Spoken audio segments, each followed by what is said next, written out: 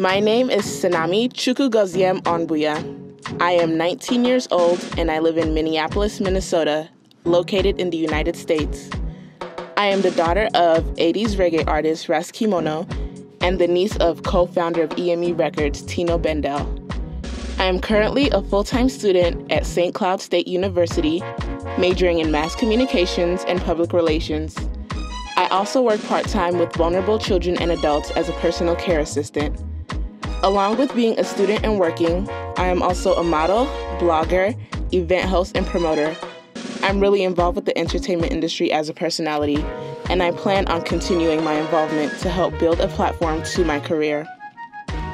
I want to be Miss Nigeria because I believe it will give me the exposure and experience necessary to build my future goals and career. I also want to use this opportunity as a culture shock. I want to be Miss Nigeria because it will give me an opportunity to be involved and give back to my country.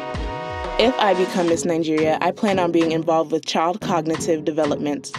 I enjoy all arts with a passion, and I believe children have the advantage of using their imaginations and dreams to escape the reality of the world, along with enhancing their cognitive skills. By donating art supplies, books, and school supplies, I want to be able to give the children the necessities to escape the reality of the world. I think I should win Miss Nigeria because this opportunity will not only benefit me, but will benefit my family, those in my community, and the children of my country. Hopefully, my success will spread, and this will be the start. I will give back to my country one step at a time.